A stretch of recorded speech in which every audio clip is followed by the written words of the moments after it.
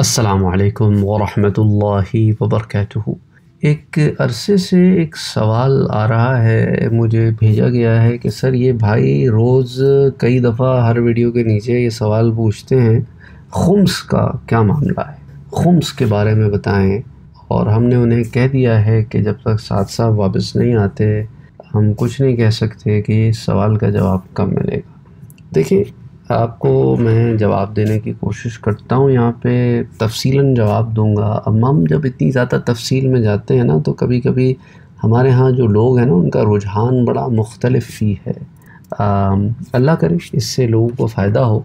देखिए, कुरान करीम में, सूरतुल में, आया नंबर 41 में ये लफ्ज़ आता है। अल्लाह अज़्ज़ वजल कुरान पाक में इरशाद फरमाता है कि वालमु गनिमतुम मिन शैइन फ़अन्ना लिल्लाहि खुमुसहु वलिर्रसूल वलिदिल क़ुरबा वलयतामा वलमसाकीन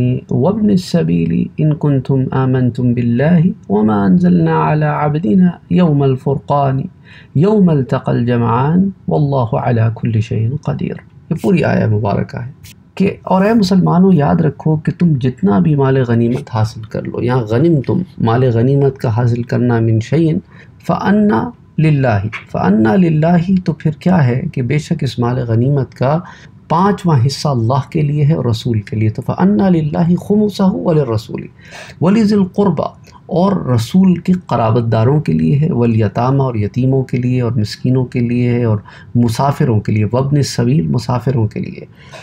और अगर तुम ईमान, अल्लाह पर ईमान रखते हो इनको तुम आमन तुम बिल्ला वमा अनजलना आबदीना और उस चीज़ पर जो अल्लाह ने अपने मुकर्रम बंदे पर फ़ैसले के दिन यौम फ़ुरक़ान फ़ैसले के दिन नाजिल की, जिस दिन दो लश्कर मुकाबिल हुए और अल्लाह हर चीज़ पर कादिर है। तो यहाँ पर यह लफ्ज़ खुमसा हुआ आता है, खुमस। तो इसके मुतल इन भाई ने तफसील मांगी।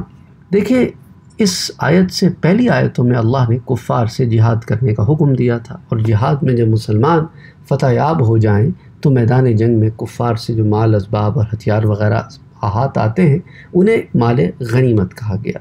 सो अब जिहाद के हुक्म के बाद अल्लाह माल गनीमत के अहकाम बयान फरमा रहा है। माल गनीमत के साथ नफिल और फ़े ये इनका हुक्म भी साथ जुड़ा हुआ है। अच्छा हम माल गनीमत से नफिल फ़े का हुक्म बयान तो मैं आपसे करूँगा ताकि आपके इल्म में भी इजाफ़ा हो और के माल गनीमत की तारीफ़ भी आपको पता हो और साथ साथ ये मामला भी।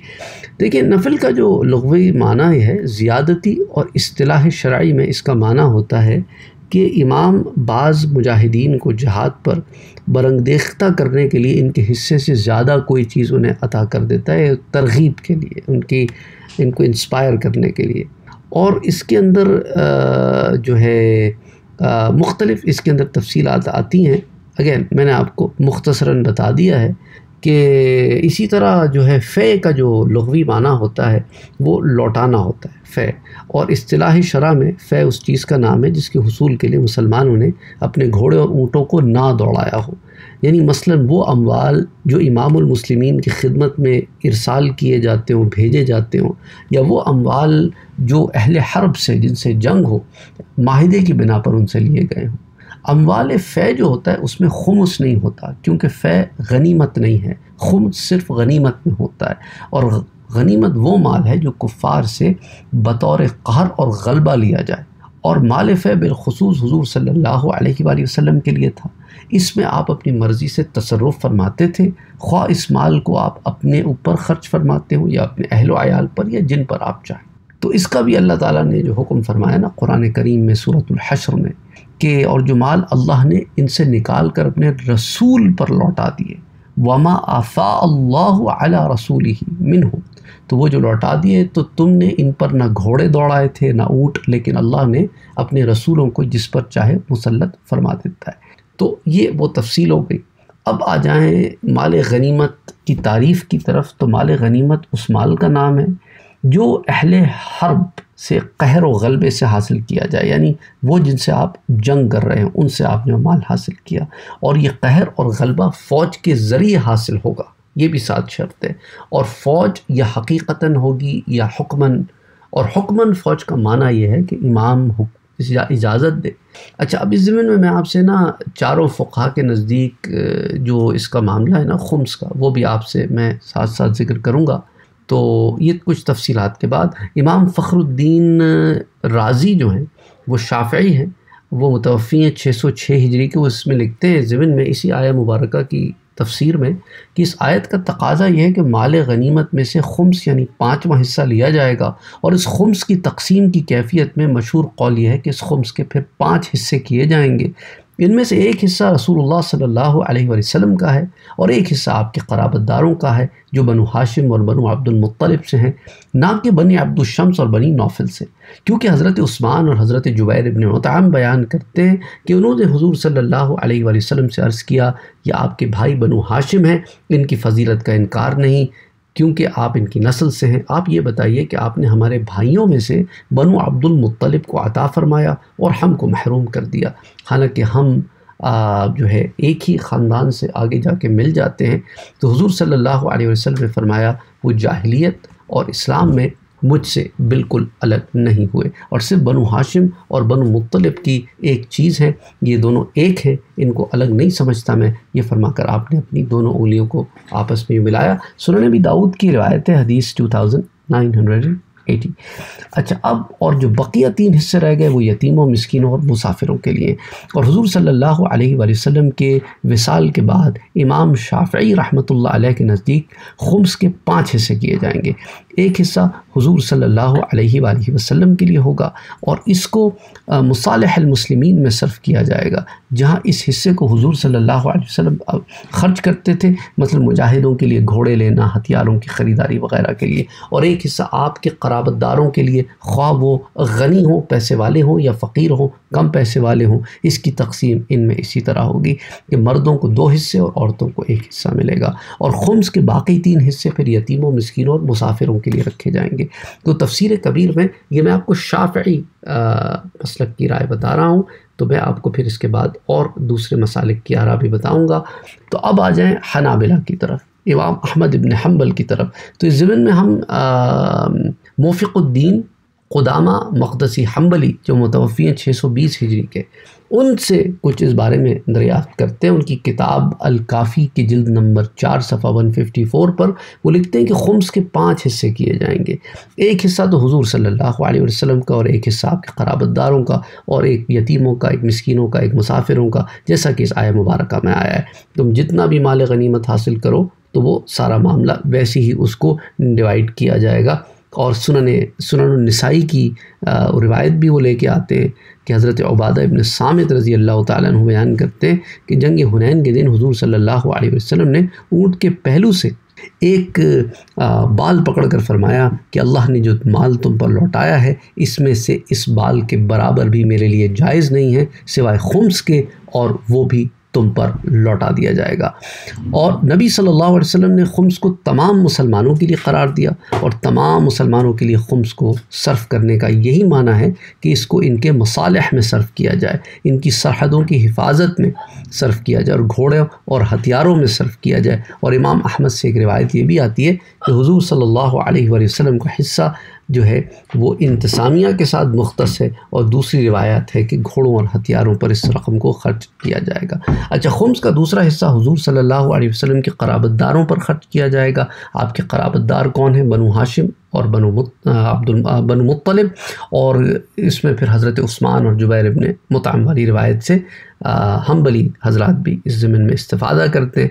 उसकी एक तफसील है, वो मैं आपके साथ मुख्तसरा बयान कर चुका हूँ। तो जहाँ तक फिर उसके बाद यतीमों का हिस्सा है तो फिर उसमें तो यतीम इस कमसिन बच्चे को कहते हैं जिसका बाप ना हो। और आपने फरमाया कि बलूगत के बाद कोई यतीम नहीं होता और इसमें इसके फ़कीर होने का भी एतबार किया जाएगा, क्योंकि गनी बिलमाल जो है गनी बिल अब से बढ़कर होता है और मस्किनों के हिस्से में मस्किन से वो मुराद हैं जो ज़क़़त के मुस्तक होते हैं। इसी तरह मुसाफिरों के हिस्सा भी आएगा इस ज़मीन में तो अलकाफ़ी में तफसीलात आती हैं। अब आ जाएँ हम मालिकी फ़ुक़ा की तरफ़। तो इसके लिए फिर हम अल्लामा अबू बकर मोहम्मद बिन अब्दुल्ला अलमालिकी जिन्हें आप इब्नुल अरबी के नाम से जानते हैं मुतवफ़ी four fifty four hundred and forty five hundred and forty three हिजरी। आप अहकामुल कुरान की जिल तो दो सफ़ा चार सौ एक पर आ, आता है कि इस आयत में आप फरमाते हैं कि अल्लाह ने फरमाया कि माल गनीमत का पाँचवा हिस्सा अल्लाह के लिए है और रसूल के लिए है। अल्लाह के हिस्से के मुताल्लिक़ दो कौल हैं। एक कौल ये है कि अल्लाह का हिस्सा और रसूल का हिस्सा वाहिद है और अल्लाह के लिए है। कि फरमाना कलाम के इस्तः के, यानी तमहीद के लिए है, दुनिया और आखिरत और सारी मखलूक भलाई के लिए है। और दूसरा कौल वो कहते हैं कि अबुल आलिया से मनकूल है कि रसूल सल्लल्लाहु अलैहि वसल्लम के पास गनीमत को लाया जाता इस गनीमत के चार हिस्से आप लश्कर इस्लाम में तकसीम फरमाते, फिर बकिया खुम्स में से एक मुट्ठी भरकर उठा लेते और इसको काबे के लिए वक्फ़ कर देते। फिर बकिया खुम्स को पाँच हिस्सों में तकसीम फरमाते, इसमें से एक हिस्सा हुजूर के लिए होता और एक हिस्सा कराबतदारों का हुजूर के और एक हिस्सा यतीमों, मस्किनों और एक हिस्सा जो है मुसाफिरों के लिए। क्योंकि पाँच हिस्से आप इसको करते। मुसन्फ़ इबन अबी शैबा की रवायत है। हदीस number thirty three thousand two eighty seven और रसूल सल्लल्लाहु अलैहि वसल्लम के हिस्से के मुतालिक भी फिर दो अकवाल आते हैं। अहकाम कुरान में मैं मालिक की तहकीक आपके सामने रख रहा हूँ भी याद रखिएगा। वो कहते हैं, कौल ये है कि हुजूर सल्लल्लाहु अलैहि वसल्लम का हिस्सा जो है वो इसका ज़िक्र इस्तफ़ाह के कलाम के लिए है, जिस तरह अल्लाह के हिस्से का ज़िक्र, और खुम्स में से कोई चीज़ अल्लाह के लिए है ना रसूल के लिए। और खुम्स के चार हिस्से किए जाएँगे, और एक हिस्सा बनु हाशिम और बनु मुतलब के लिए, एक हिस्सा यतीमों के लिए, एक हिस्सा मस्किनों, और एक हिस्सा मुसाफिरों के लिए।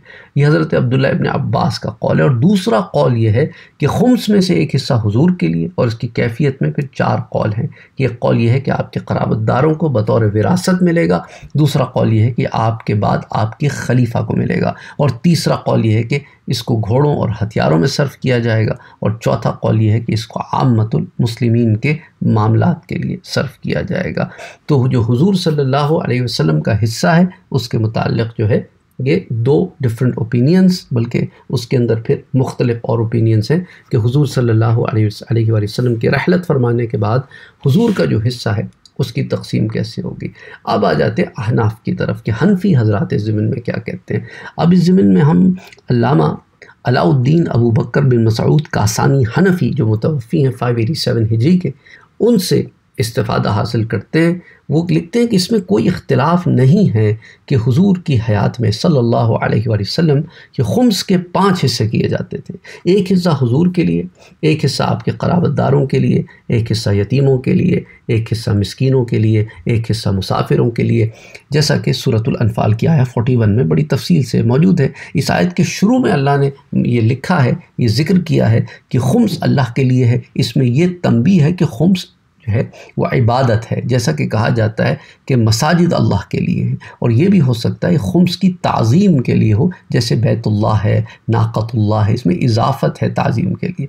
हुजूर सल्लल्लाहु अलैहि वसल्लम के विसाल के बाद आपके हिस्से में और जो आपके करीबी रिश्तेदार हैं जविल क़ुरबा, इनके हिस्से में फिर का इख्तलाफ है। वो कहते हैं कि हमारे अहनाफ ने ये कहा है कि हुजूर की वफ़ात के बाद आपका हिस्सा साक़ित हो गया। और इमाम शाफ़ी ने यह कहा है कि आपकी वफ़ात के बाद आपका हिस्सा खुलफ़ा राशिदीन की तरफ़ मुंतकिल हो गया क्योंकि अब वो आ, उम्मत की में इमाम की हैसियत रखते हैं मसालमसलिमिन में वो मशगूल रहते हैं। और हमारी दलील ये है अहनाफ की कि ये खुम्स हुजूर सल्लल्लाहु अलैहि की खसूसियत थी जैसा कि आपकी ज़िंदगी में माल गनीमत में से हुजूर जो चाहते अपने लिए चुन लेते जिसे सफ़ी कहते हैं। जो टर्मिनोलॉजी है तो उसके अंदर आप तलवार चुन लेते थे, कोई ज़रा चुन लेते थे, जो भी। और फ़े आपकी खसूसियत फिर आपके बाद सफ़ी और फ़े, ये किसी की खसूसियत नहीं हो सकती। इसलिए वाजिब है कि खुम्स में भी किसी की खसूसियत नहीं होगी, इसलिए आपके बाद आपका हिस्सा खुलाफा राशिदीन के लिए नहीं होगा। और आपके कराबतदारों के हिस्से के मुतल इमाम शाफी ने कहा कि वो अब भी बाकी है और वो औलाद बनु हाशिम को मिलेगा। इसमें फ़कीर और गनी बराबर हैं। बल्कि अहनाफ कहते हैं, हमारे नज़दीक बनु हाशिम के अगनिया को खुम्स में से, यानी अमीरों को तो खुम्स में से नहीं दिया जाएगा अलबत् बनु हाशिम के फ़करा को, गरीबों को इसमें से हिस्सा दिया जाएगा। और इनके लिए अलहदा हिस्सा वदा करने की ज़रूरत नहीं है, वो फ़करा के हिस्से में दाखिल हैं, बल्कि दूसरे फ़करा पर मुक़दम है। कि इनको दिया जाए आम फ़करा के मुकाबले में। और वह अहनाफ कहते हैं कि हमारे नज़दीक खुम्स के तीन हिस्से किए जाएँगे, एक हिस्सा यतीमों के लिए, एक हिस्सा फ़करा के लिए और एक हिस्सा मुसाफिरों के लिए। तो इस तरह जो है अहनाफ हजूर सल्लल्लाहु अलैहि वसल्लम के मिसाल के बाद खुम्स की तकसीम बयान करते हैं। जैसा कि बदाए की जल्द नंबर नौ, सफ़ा number four ninety nine, five hundred पर मौजूद है। अच्छा अब हम अल्लामा अबुल हसन अली बिन अबी बकर अलमरनानी अलहनफ़ी से पूछते हैं हिदाया अवलिन के पेज 576 577 पे आप लिखते हैं कि हमारी दलील ये है कि खुलफ़ा अरबा, यानी चारों खुलफ़ा राशिदीन जो हैं, उन्होंने खुम्स के इसी तरह तीन हिस्से किए थे, जिस तरह अहनाफ बयान करते हैं और इनकी इक्तदा करना काफ़ी है। और हुजूर अलैहि वसल्लम ने फरमाया कि बनु हाशिम की जमात, अल्लाह ने तुम्हारे लिए लोगों के मैल कुचैल और धोन, धोवन को पसंद नहीं किया है।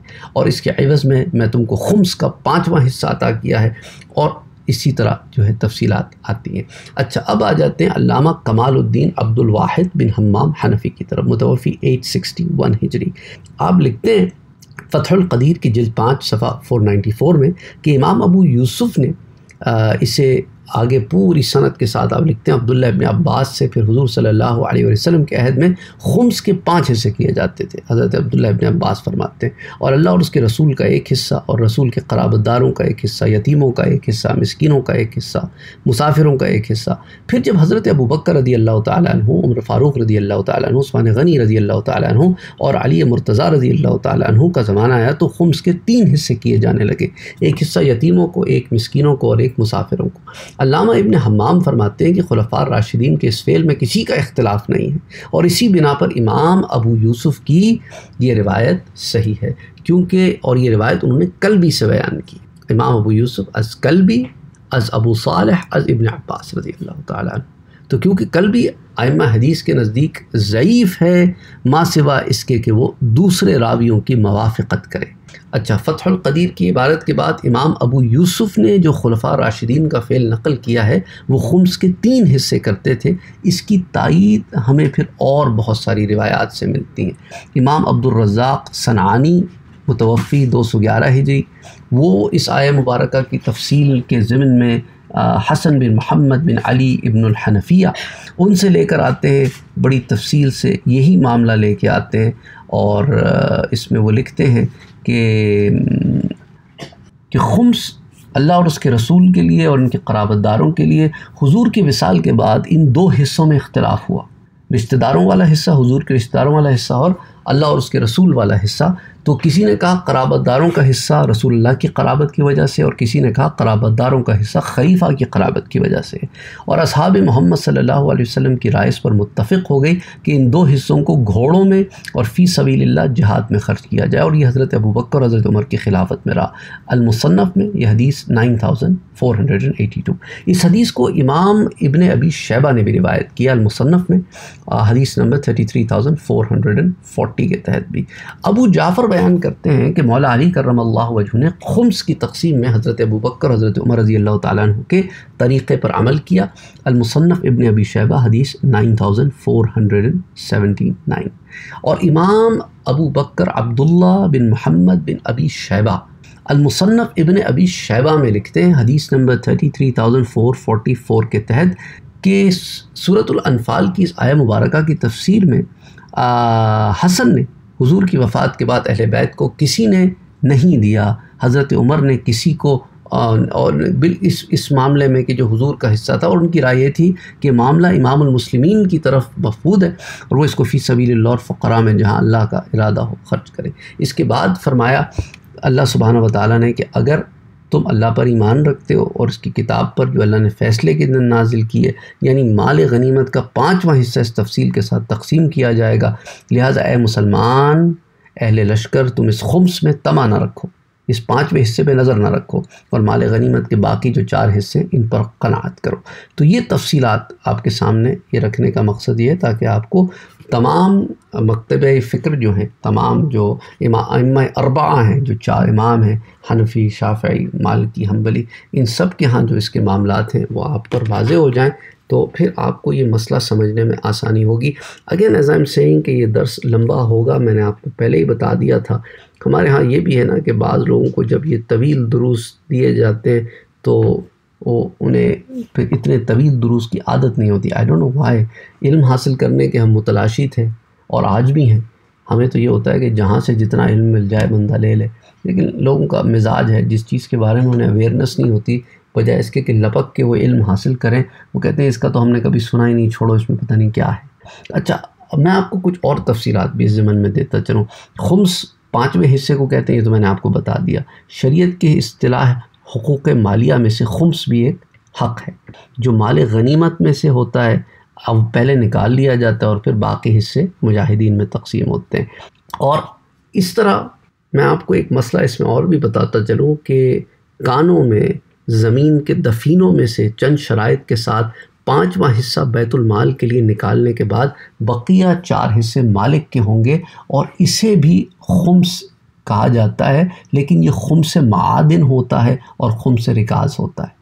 माल गनीमत के मुतल नस कुरानी के ज़रिए ये जबता तय हो चुका है कि कुल माल गनीमत में से पाँचवा हिस्सा निकालने के बाद बकिया चार हिस्से मुजाहिदीन में होंगे। जबकि कानों, यानी कि जो आपको ज़मीनी ख़जानों में से, कोई दफीनों में से कहीं कोई दफन था, कोई ख़जाना, कोई ट्रेजर आपको मिल गया तो उसके बारे में क्या मामला है? इसके अंदर फिर आपको चार मुख्तलिफ़ नुकात हैं। एक तो ये है कि गैर ममलूका ज़मीन में से अगर दफीना यानी आप उस ज़मीन के मालिक नहीं थे, आप कहीं जंगल में जा रहे थे और आपको कोई ऐसी चीज़ मिल गई, ज़मीन खुद आपको ख़जाना मिल गया। तो गैर ममलूका ज़मीन में से अगर दफीना बरामद हुआ और इस पर कुफ्र की अलामत हो, यानी वो जो अंदर से माल निकला है, उस पर कुफ्र की अलामत हो, या कोई मुशतब किस्म का दफीना हो, यानी इस पर कोई अलामत ना हो तो इसका हुक्म माल गनीमत का है। और इसमें से पाँचवा हिस्सा बैतुलमाल में जमा करना लाजिम होगा और बैतुलमाल ना होने की सूरत में दीनी मदारस के गरीब तलबा को दिया जाएगा। और ये जो है दफीना बरामद करने वाला ख़ुद भी तकसीम कर सकता है, जिसने दफीने को ढूंढा और बाकी चार हिस्से दफीना बरामद करने वाले को मिलेंगे और वो इसे अपने ज़ाती इस्तेमाल में ला सकता है। ये तो एक मामला हो गया। दूसरा मामला, अगर किसी गैर ममलूका ज़मीन से दफीना मिला, नहीं, उस ज़मीन के आप मालिक नहीं थे और इस पर इस्लामी अलामत हों या इसका गालिब गुमान हो कि मुसलमानों का दफीना है तो इसका हुक्म लखता का है। यानी क्योंकि ये मुसलमानों का ममलूका है तो गनीमत का माल इसे नहीं बनाया जा सकता क्योंकि मुसलमान का माल माल गनीमत नहीं हो सकता। और इस पर लुक़ का हुक्म यह है कि इसकी तशहर की जाएगी कि भाई अगर किसी का माल है तो ये आके ले ले। जब ये यकीन हो जाए कि अब इसके मालिक ने इसे तलाश करना छोड़ दिया होगा तो तशहर और इंतज़ार मुकम्मल हो जाने के बाद मालिक की तरफ़ से फ़करा और मसाकिन को सदका कर दिया जाएगा। और अगर लुकता उठाने वाला ख़ुद फ़कीर है तो वो ख़ुद भी इस्तेमाल कर सकते हैं। यानी जिसे ढूंढा है वो ख़ुद फ़कीर था तो वो ख़ुद भी इसे इस्तेमाल कर सकता है। ताम अगर मालिक बाद में आ जाए और सदका करने को कबूल ना करे, बल्कि अपने माल का मुतालबा करे तो वो चीज़ उसे वापस करना ज़रूरी होगी। अच्छा अगर ममलूका ज़मीन से दफीना बरामद हुआ है और उस पर कुफ्र की अलामत हों या मुशतब दफीना हो तो इसमें से पाँचवा हिस्सा तो बैतुलमाल में है।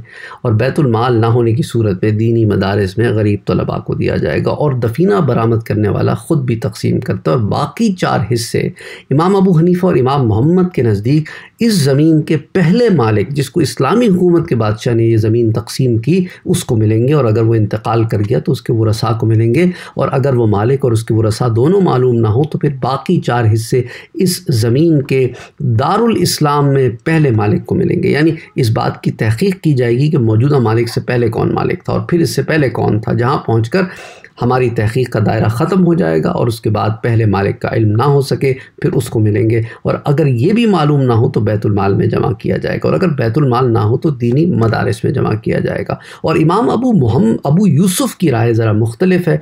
उनके नज़दीक बाकी चार हिस्से इस दफीने को बरामद करने वाले के होंगे। और मौजूदा ज़माने में इमाम अबू यूसुफ़ ही के कौल पर फतवा है। ये भी याद रखें। और चौथा मामला कि ममलूका ज़मीन से दफीना बरामद हो और इस पर इस्लामी अलामत हो या इसका गालिब गुमान गुमान हो कि मुसलमानों का दफीना है तो इसका हुक्म लुकते का है, यानी जिसकी तफसील मैं आपको पहले बता चुका हूँ दूसरी वेरिएशन में। अच्छा ये तमाम तफसीलात जो हैं मैंने मुख्तसर आपके सामने रखी हैं। बदाय में इनकी तफसीलात मौजूद हैं। इसकी जल्द नंबर दो, सफ़ा सिक्सटी फ़ाइव पर। इसी तरह अलमुहित में इसकी तफसीलात मौजूद हैं अलमहीतुलबुरहानी में, किताबुल खराज में, जल्द नंबर दो, सफ़ा थ्री सिक्सटी सिक्स पर। इसी तरह फतावा शामी में इसकी तफसीलात मौजूद हैं, जल्द नंबर दो, सफ़ा तीस तीन सौ बाईस और तीन सौ तेईस पर। Anyway I hope that answers the question in detail उम्मीद करता हूँ कि इससे आपको तसल्ली बख्श और जवाब मिल गया होगा। असलकम वरहमल वर्का